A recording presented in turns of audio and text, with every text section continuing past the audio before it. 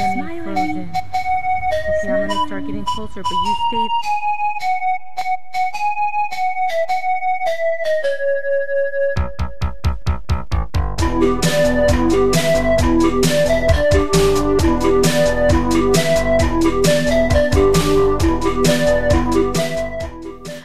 My tinks, we're gonna start off using Wolfe White. Now, I'm gonna be applying this on all his face because Puppet has his whole face white.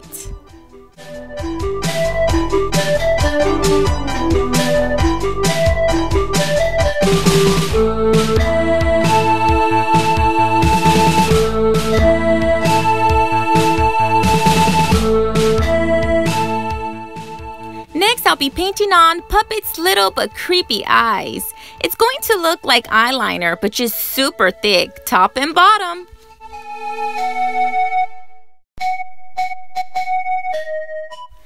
Now, I know you can't really see what I'm doing here, but because usually I tell the kids, lean your head back, I have more control of my steady hand and it keeps them more calmer, but you'll pretty much see what I'm doing.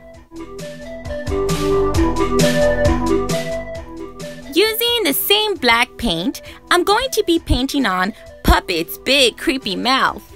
We don't have to paint on any teeth, therefore painting Puppet is one of my favorites to paint on wiggly little kids.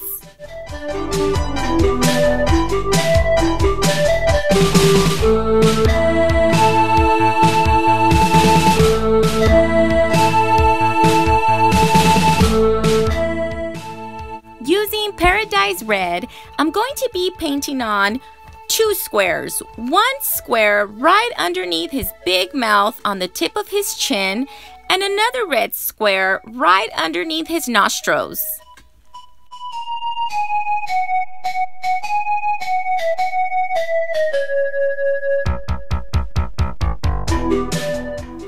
Using one of my favorite purples, I'll be painting on a thick stripe attached from eye to mouth.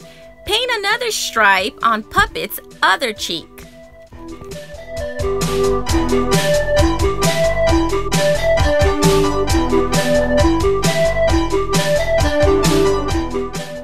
Last but not least, going back to Paradise Red, let's paint on Puppet's cheeks. And we are done, guys. Now it's time to wait for Daddy to get home so he can scare him.